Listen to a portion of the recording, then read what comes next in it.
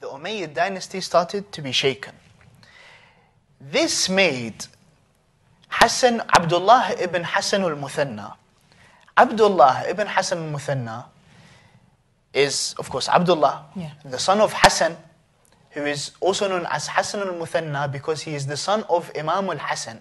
So Hassan, Hassan, Muthanna mm. is double or squared or whatever you'd like. Hassan and Hassan, so Hassan al-Muthanna.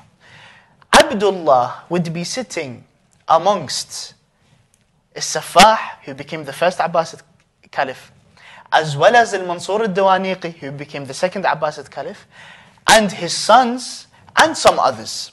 And they were planning an uprising against the Abbasid Caliphate.